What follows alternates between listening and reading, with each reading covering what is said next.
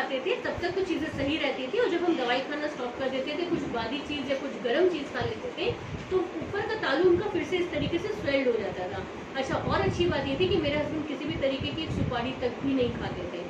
तो लेडीज़ के मन में अक्सर निगेटिव चीज़ें जल्दी आने लगती थी तो मुझे लगा कि ऐसा ना हो कि कुछ कैंसरस डेवलप हो जाए। चलिए हम डॉक्टर को दिखा लेते हैं। और डॉक्टर ने अच्छे से बता दिया था कि ऊपर वाला तालू खुलेगा फ़र्स्ट से उसको रिमूव किया जाएगा एक, एक प्लेट अटैच की जाएगी ताकि आप स्मूथली चबाना वगैरह कर सको। तो जब मुझे इन प्रोडक्ट पे बिलीव नहीं था लेकिन मेरे हस्बैंड ने इन प्रोडक्ट्स को ले लिया और मैंने लगभग पैसे की व्यवस्था करी और हम लोग भोपाल मूव कर रहे थे रुबीना जी। जैसे ही मैं भोपाल पहुँची, मेरी डॉक्टर पंद्रह दिन से कनाडा में थी और आगे आने वाले पंद्रह दिन भी वो कनाडा में रहने वाली थी। लेकिन हमने इन दोनों प्रोडक्ट्स को हमने क्या मतलब सर ने यूज़ करना शुरू किया?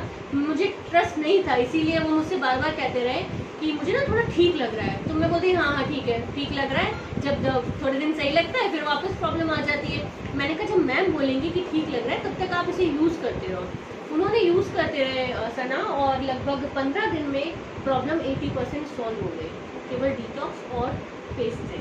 जब मैम आई तो हम उनसे मिले और उन्होंने कह दिया कि, लविन जी, अब ऑपरेशन की कोई ज़रूरत नहीं है।